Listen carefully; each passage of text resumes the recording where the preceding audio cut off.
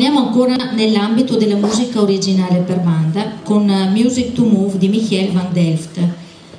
un altro autore conosciutissimo che viene dal nord Europa. La tradizione di questo tipo di musica infatti viene proprio da là, dal Belgio in particolare e si è poi allargata un po' a tutto il mondo. E, um, musica originale, dicevo, scritta proprio per l'organico della banda musicale, cioè per gli strumenti prevalentemente a fiato, ma non solo. Eh, questo grande musicista che comunque iniziò come clarinettista anche lui in una banda musicale ehm, ha scritto tantissimi brani, alcuni tra i più belli che eseguono le bande musicali. Questo Music to Move è un po' diciamo un,